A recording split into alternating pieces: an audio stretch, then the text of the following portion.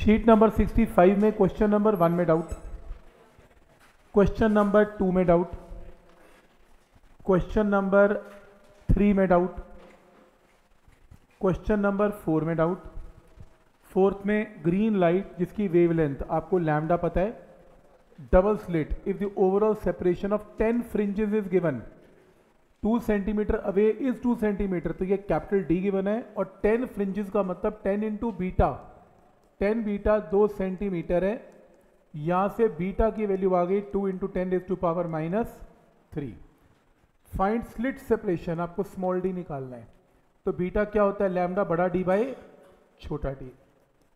तो यहाँ पे स्मॉल डी की वैल्यू निकालनी है, लैमडा और डी पता है आंसर। तो क्या पॉइंट यहाँ तक क्लियर है? नेक्स्ट क्वेश्चन नंबर फोर के बाद क्वेश्चन नंबर फाइव में डाउट। आंसर मैच नहीं कर रहा।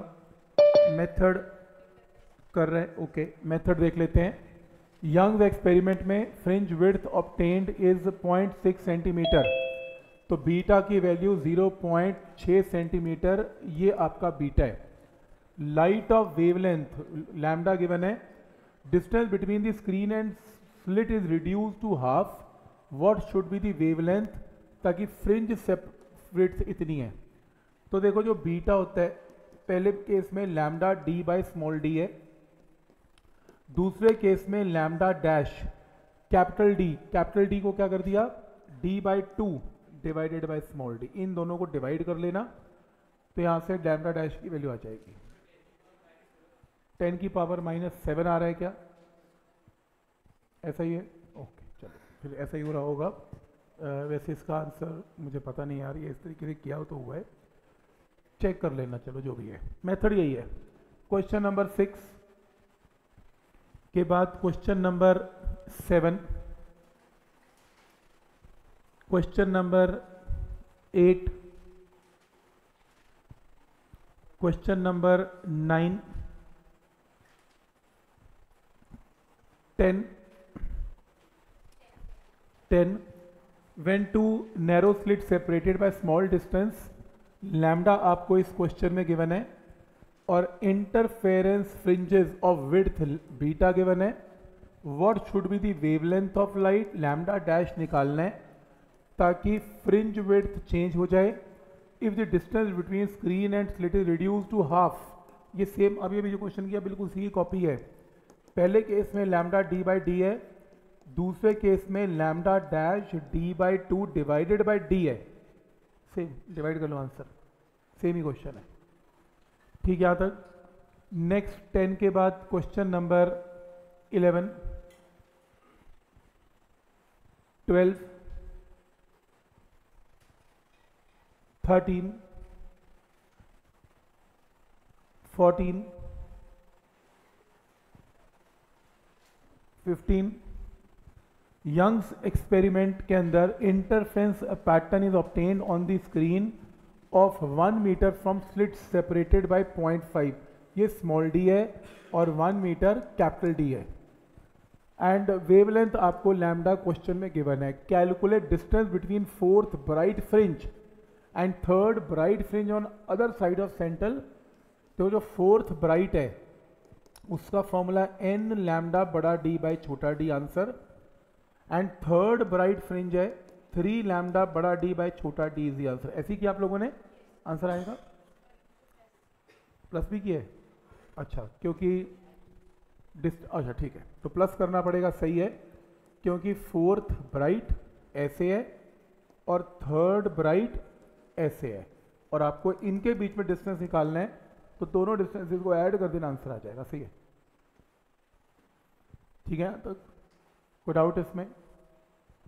नेक्स्ट 15 के बाद क्वेश्चन नंबर 16 16 में क्वेश्चन में ये गिवन है कि आपके पास कोई ए पॉइंट है, कोई बी पॉइंट है, ये दो स्लिट्स हैं और ये स्क्रीन है और ये पॉइंट पी है. तो यहाँ से ये डिस्टेंस बी पी है, ये डिस्टेंस पी ए है.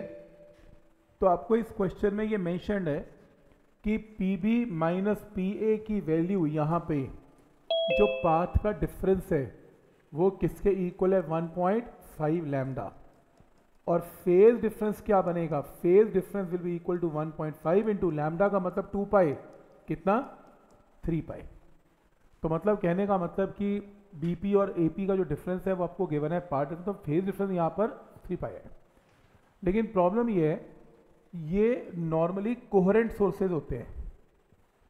कोहरेंट सोर्स का मतलब आइडेंटिकल वेव बाहर फेंकते हैं। आइडेंटिकल वेव का मतलब अगर इसने क्रेस्ट निकाला तो इसने भी क्रेस्ट ही निकाला। पर वो ये कह रहा है कि जो सोर्सेज से लाइट निकलती है, वो ओरिजिनली जैसी निकली, उसमें एक्स्ट्रा फ़ेज़ डिफरेंस क्रिएट हो जाता है कितना? 54 डिग्री का। 54 डिग्री का जब दोनों सोर्स से लाइट निकली, आइडेंटिकल नहीं है इसका मतलब तो फ़ेज़ डिफरेंस कितना हो जाता है? 54 डिग्री। तो एक फ़ेज़ डिफरेंस इसलिए क्योंकि रास्ते में डिफरेंस है पाथ का डिफरेंस है। और एक फ़ेज़ डिफरेंस इसलिए क्योंकि निकलते फ़ेज़ डिफरेंस है। तो निकलते 54 डिग्री को सबसे पहले रेडियन में कन्वर्ट करो pi by one eighty pi radians आएगा। तो ये फ़ेज़ डिफरेंस तो निकलते ही है। फिर रास्ता दोनों का अनईक्वल है, जिससे कि फ़ेज़ डिफरेंस कितना क्रिएट हुआ? थ्री पाई थ्री पाई और पॉइंट थ्री पाई को ऐड करके three point three radians answer आ गया। तो यहाँ पर दो दो फ़ेज़ डिफरेंस ऐड करने पड़ेंगे। एक रास्ते का फ़ेज़ डिफरेंस और एक ओरिजिनल फ़ेज़ डिफरेंस जब वो निकलते हैं और निकलते ही फ़ेज़ डिफरेंस जो क्रिएट होता है 54 डिग्री को रेडियस में कन्वर्ट करना पड़ेगा इसमें। तो पॉइंट समझ में आ रहा है कि इसको ऐड करना पड़ेगा? ठीक है यहाँ तक। इस क्वेश्चन को करते करते याद आया एक और चीज़। एनसीईआरटी का क्वेश्चन है, मैं कहीं भूल ही ना जाऊँ और वैसे मैं शीट में डालने की कोशिश भी करूँगा। आपके बोर्ड में मतलब बोर्ड वाले क्या एक्सपेक्ट कर लेते हैं? कभी कभी आप ये देखो। लोग वाईडीएससी का एक्सपेरिमेंट याद करके जाएँगे। और सब कुछ याद करके जाएँगे और सोचेंगे कि उसमें से क्वेश्चन आएगा। आता भी है एक परसेंट का पेपर ऐसा ही बन जाता है। वो कहे, बोर्ड में आप पुराने ईयर में देख लेना है क्वेश्चन आया हुआ है। यही इन्हीं चीज़ों को तो डिस्कस करना है हमने क्लास में, कि अगर आपके पास ये दो स्लेट्स हैं और ये स्क्रीन है, और ये आपका पॉइंट पी है, ये आपका पॉइंट पी है तो ये आपका पाथ डिफरेंस है। तो जैसे ये ए पॉइंट है और ये बी पॉइंट है। तो यहाँ पे पार्ट डिफरेंस कितना है? B P minus A P तो हमने याद किया हुआ है जो पार्ट डिफरेंस है पाथ का डिफरेंस है, अगर ये पाथ डिफरेंस एन लैमडा है तो कंस्ट्रक्टिव है, और अगर ये part difference two N minus one in two lambda by two है तो ये डिस्ट्रक्टिव है। क्या पॉइंट यहाँ तक क्लियर है? ऐसा किया। उसने बस ये बोला कि आप मुझे इसमें सिर्फ़ कंस्ट्रक्टिव डिस्ट्रक्टिव की इक्वेशंस बना के दिखा दो। कैसी बनाओगे, लेकिन आपका जो सोर्स है, वो यहाँ पे नहीं है मिड पॉइंट पे नहीं है, आपका सोर्स यहाँ पे है। कहता, अब करो क्वेश्चन सॉल्व अब नॉर्मली हमने सारी थ्योरी याद की है सोर्स इक्वी है। हम पीछे की कोई कहानी लेते ही नहीं है। उसने सोर्स थोड़ा अलग कर दिया। जब सोर्स अलग किया तो डायग्राम ऐसा बन गया। अब देखो, आगे तो फ़ेज़ डिफरेंस है ही है। अब फ़ेज़ डिफरेंस पीछे से क्रिएट हो गया। हम पीछे इसलिए लेते नहीं, क्योंकि इक्वी डिस्टेंट है पार्ट डिफरेंस ज़ीरो रहता है हमेशा। पर यहाँ पे मुझे क्या करना पड़ेगा? यहाँ पर ऐसी कंडीशन बनानी पड़ेगी कि जो पार्ट डिफरेंस है पी पॉइंट पे, वो क्या बनेगा? S B plus BP S B plus BP minus S A plus A P भाई, नीचे का पाथ माइनस ऊपर का पाथ बस प्रॉब्लम ये है कि मेरे को पीछे के पार्ट डिस्टेंस को भी कंसिडर करना पड़ेगा। अब देखना पड़ेगा मैं कहने का मतलब जो लंबे वाला पाथ है इंक्लूडिंग दिस एंड दिस इन दोनों को ऐड करके। बड़े पाथ में से छोटे पाथ को क्या करना पड़ेगा? माइनस अब वो कभी कभी ऊपर का पाथ बड़ा हो जाता है कभी कभी नीचे का बड़ा हो जाता है। तो आप ऊपर नीचे की चिंता ना करें, आप शुरू से एस से लेके पी तक का पार्ट डिफरेंस लें, फिर कंडीशन बना दें कि अगर ये पार्ट डिफरेंस एन लैमडा है तो कंस्ट्रक्टिव है। और अगर ये part difference two N minus one in two lambda by two है तो ये डिस्ट्रक्टिव है। ऐसे आपका क्वेश्चन पेपर में बोर्ड में तीन नंबर का आया हुआ है।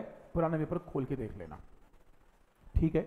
मतलब बेसिक कॉन्सेप्ट चेक कर रहा है। बहुत बड़ा क्वेश्चन नहीं है, लेकिन देखो तो सही, उसने कैसे चेक कर लिया कि अगर सोर्स मिड पॉइंट पे नहीं है, कहीं और होगा तो फिर लोग क्या इसकी कंडीशन बना पाएँगे? कंडीशन लिखनी और कुछ करना नहीं है। कोई उसने और आगे थ्योरी नहीं दी। कोई न्यूमेरिकल नहीं दिया। उसने बोला, बस ये थ्योरी खुद बना के बताओ। तब कंस्ट्रक्टिव कब डिस्ट्रक्टिव है दैट्स इट हाँ हो सकता है किसी नए क्वेश्चन में वो डायमेंशन चेंज कर दे।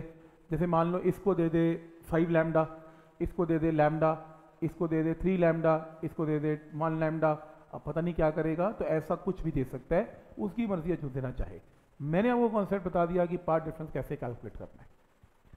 ठीक है, यहाँ तक क्लियर है। तो आगे का भी और पीछे का दोनों का कंसिडर करना पड़ेगा। फिर मैं शीट में लिख के दूँगा, इसके और भी कुछ ऐसे क्वेश्चन हैं, जो और टेढ़े मेढ़े क्वेश्चन हैं, मैं वो भी आपको इसमें शीट में लिख के दूँगा अभी। तो उसमें एक दो और कॉम्प्लेक्स क्वेश्चन हैं इसके ऊपर, वो जो लिख के दूँगा आपको, सारा कॉन्सेप्ट वहीं से क्लियर हो जाएगा। तो कैसा भी क्वेश्चन आ जाएगा, फ़र्क नहीं पड़ेगा आपको।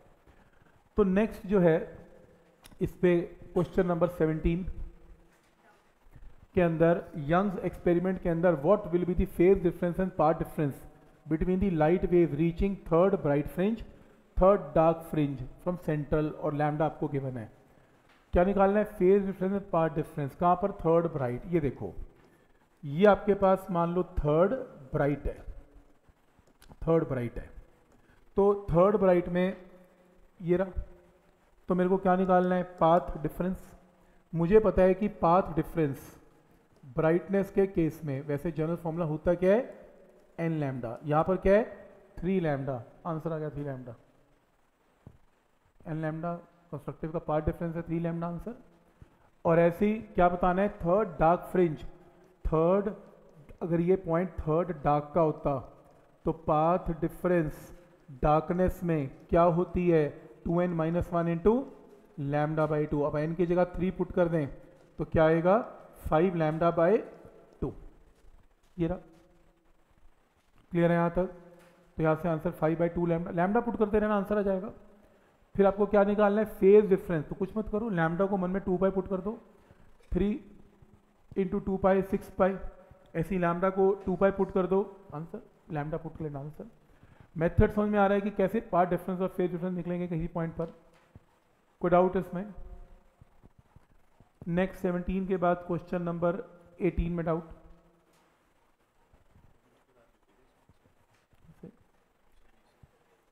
कल दूँगा यार कितने दूँगा हाँ दे तो मैं दे आ रहा हूँ। तो इन यंग एक्सपेरिमेंट ये डाउट इसमें।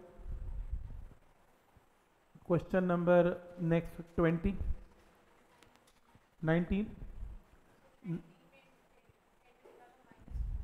minus four है ये। इस मेथड में डाउट है। मेथड में the fringe width in Young slit experiment pattern is given beta given है। When red light of wavelength given lambda one given है how much will it change if blue light is used lambda two तो एक काम करो beta जो होता है वो लैम्डा के प्रोपोर्शनल है।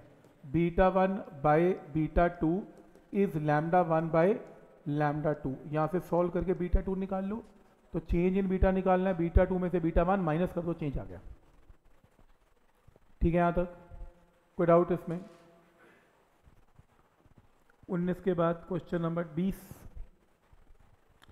20 में यंग्स एक्सपेरिमेंट में टू स्लिट्स आर इतने मीटर अपार्ट क्या आगे बने? छोटा D screen is position capital D slits का लैमडा आपको गिवन है। Find distance of third bright fringe third bright fringe क्या होता है? थ्री लैमडा बड़ा डी बाय छोटा डी लैमडा डी और डी पता है? आंसर एक answer find wavelength of incident light sorry इसमें if the if the wavelength of incident light were change to lambda dash आ गया। Find the shift in position of third bright fringe तो नई third bright fringe क्या होगी? Three lambda dash D by T अब तुमने क्या करना है? इन दोनों का डिफरेंस निकाल देना answer X three dash minus X three is answer clear है यहाँ तक? तो third bright fringe new third bright fringe दोनों को माइनस करके शिफ्ट आ गया। ठीक? समझ आ रहा है यहाँ तक? नेक्स्ट ट्वेंटी के बाद क्वेश्चन नंबर ट्वेंटी वन 1.44 आ रहा है क्या इसका आंसर कि 1.76 आ रहा है? आ रहा है? फिर आ ही रहा होगा। तो इसमें माइनस किया है। X eight minus X three dash एक ब्राइटनेस का और एक डार्कनेस का।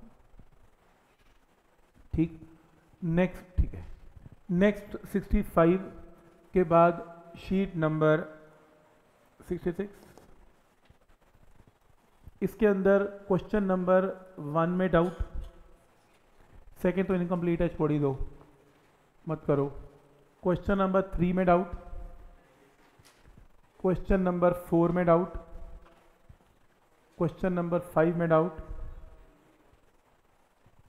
सिक्स में डाउट है सिक्स में डाउट है। क्या चक्कर है इसका? हाँ। यही तो यही तो उसने जानबूझ के चेंज किया। देखो, इसमें यंग एक्सपेरिमेंट है और वो कह रहा है जो विड्थ है पहली और दूसरी, इसमें दो का फ़र्क है।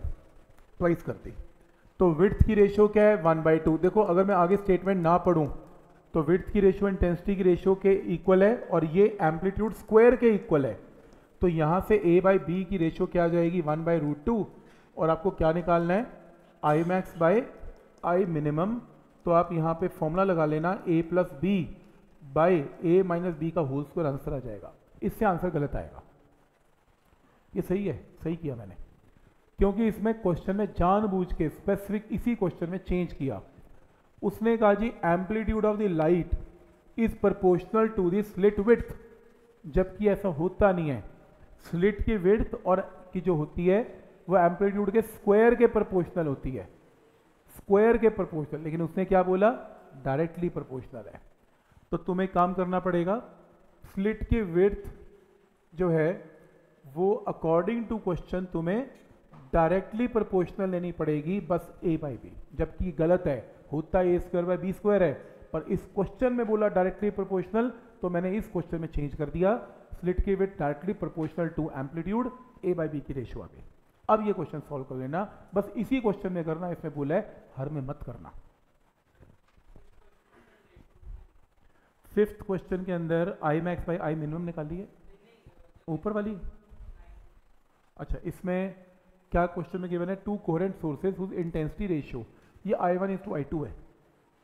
ठीक है, ये I one is to I two है। तो ये ऐसे होना चाहिए, देख। I one is to I two तो ये क्या गिवन है? इंटेंसिटी की रेशियो गिवन है। I one and I two जो कि एम्पलीट्यूड स्क्वायर के प्रपोर्शनल है ऐसे तो यहाँ से ए बाई बी की ratio nine is to one है. सही है? अब निकाल लेना I max divided by I minimum ये ले. A plus B by A minus B का होल स्क्वायर अब आंसर आ जाएगा. कोई डाउट इसमें. ठीक है फोर्थ ये सही है? तो इस क्वेश्चन में क्वेश्चन नंबर फोर्थ में ratio of intensity at maxima and minima इस बार उल्टा दे दिया. इस बार आपको I max by I minimum की ही रेशियो दे दी 25 और 16 what will be ratio of width of two slits जो विड्थ की रेशियो है, वो इंटेंसिटी की रेशियो के बराबर है और वो A square by B square के बराबर है। सही है? तो अगर मैं ए बाई बी निकाल दूँ आंसर आ जाएगा। तो अब एक काम करो I max by I minimum होता क्या है? A plus B by A minus B का होल स्क्वायर पाँच और चार A plus B by A plus B A minus B ऐसे। तो यहाँ से ए बाई बी की रेशियो निकाल लेना। जो भी ए बाई बी की रेशियो आएगी, उसको यहाँ पे पुट करके विथ की रेशियो आ जाएगी ठीक है? मेथड समझ में आ रहा है कैसे करना है इसमें? कोई डाउट इसमें।